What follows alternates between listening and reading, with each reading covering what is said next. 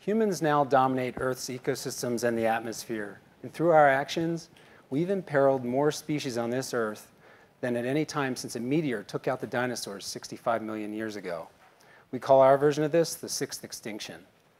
The irony is that Earth's web of life, what people like me call biodiversity, literally underpins and generates our own life support system. So this extinction process that we're in now could be our own disappearing act. How do we mitigate the extinction process? And can new technologies help us to better manage Earth to save more species? Now, I've been into nature since childhood, but my first big biodiversity inspiration in this area came about in 1992 when I was working for a conservation NGO in Hawaii. I was tasked with finding rare and endangered species in remote places. This proved to be extremely difficult due to access. Then Richard Leakey wrote the first book called The Sixth Extinction, and he put this massive biodiversity problem into perspective for me.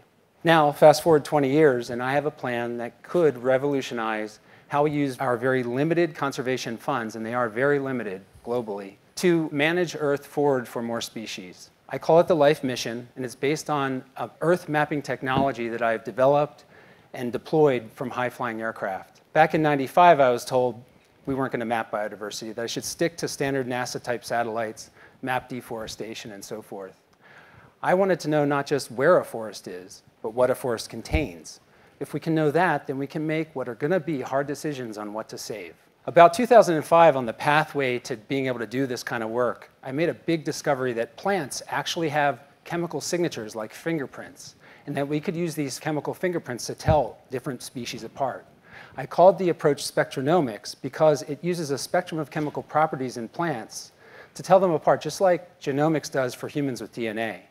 Then I needed a way to fly over ecosystems and measure these chemical signatures. So I invented the Carnegie Airborne Observatory, which we flew in this rickety airplane over Hawaii.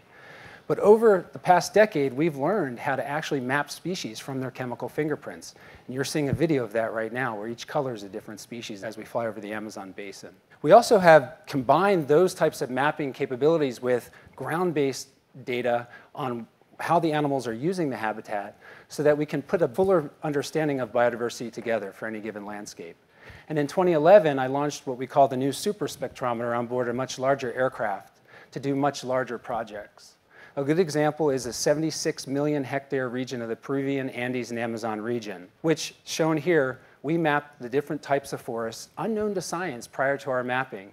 And then we overlaid government information about what's being protected and then what's being missed.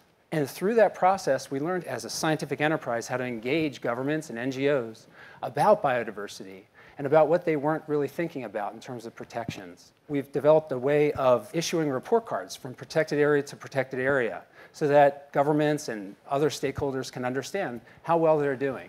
This is all from aircraft. Last year, I used my third generation aircraft and imaging system to map northern Borneo. And this was a special case because the Malaysian government had asked us to come into their country to map the biodiversity for the sole purpose of deciding where to put a new protected area. And it was that invitation that made me realize we have something bigger to offer beyond our own science. So my idea today is straightforward, but it's not simple. I want to launch into Earth orbit a fourth generation instrument that will map global biodiversity in unprecedented detail.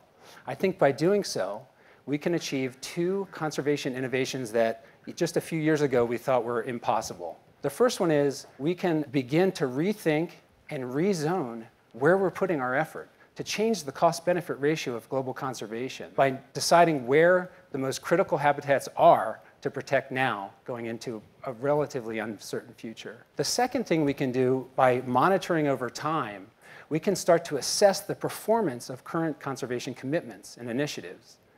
Two things come from that. One is that by monitoring the performance, the people on the ground actually doing the conservation work are going to increase their efficiency because they know that their performance is being assessed and they would be part and parcel to that process. Secondly, over time, we're going to get a much better understanding of what works and what doesn't work. And so we can reallocate our funds, our efforts based on efficacy. Again, I call this the life mission. It's a mission that we've already developed quite far along now. It includes hardware design, satellite design, data analytics, and conservation ties. We know we have what it takes to go to Earth orbit for this. After 20 years of doing what I do, I strongly believe that this mission is needed to save biodiversity and perhaps ourselves. Thank you.